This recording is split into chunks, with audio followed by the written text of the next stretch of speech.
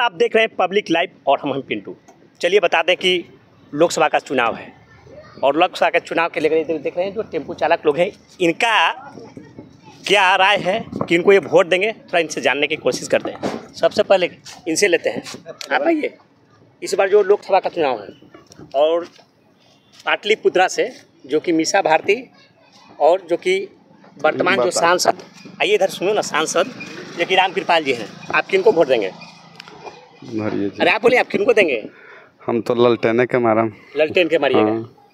आप किसको दीजिएगा मिश्रा जी तो हमारे क्षेत्र में कुछ किए नहीं। हाँ, राम कृपाल तो कुछ कर रहे हैं। हाँ, तो हम तो जिन्हें सपोर्ट जिनको करेंगे जी हम लोग का सपोर्ट करेंगे जिनको सपोर्ट करेंगे। यानी कि आप राम कृपाल जी को। हाँ हाँ। आप किनको कीजिएगा हम लोग तो मिसे भारती है। मीसा भारती। आप किनको दीजिए? राम कृपाल को। राम कृपाल और पीछे पीछे इधर चलिए।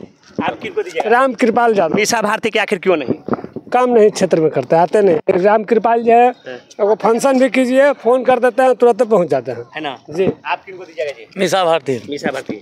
और राम कृपाल क्यों नहीं? मिसा भारती हम लोग के हैं सब दिन सब दिन रहते हैं। मीसा भारती भारतीय राज्यसभा सांसद है। पता है? आप लोगों की कितने चापाकल मिला? है चापाकल तो मिला है जानते भर में बहुत मिला है। मिला है? आपको मिला है?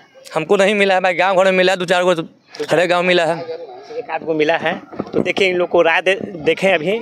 कुछ लोग हैं जो कि मीसा भारती को और कुछ लोग जो हैं रामकृपाल यादव को। तो देखते रहे पब्लिक लाइफ पिंटू कुमार के साथ पालीगंज